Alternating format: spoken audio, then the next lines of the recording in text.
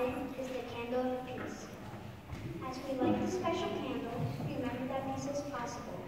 God says there will be a day where the lamb and the wolf will live together, and the cat and the lion and the cattle will not be enemies. On that special day, Jesus will lead us as the gentle shepherd and the Prince of Peace. Blessed are the peacemakers, for they will be called children of God.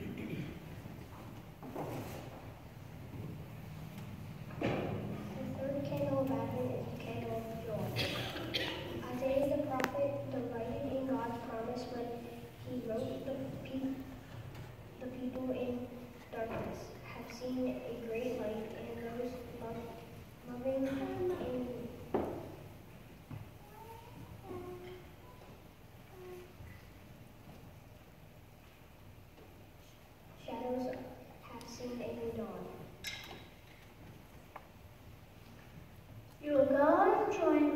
In peace. The mountains and hills will burst into song before you, and all the trees of the field will clap their hands.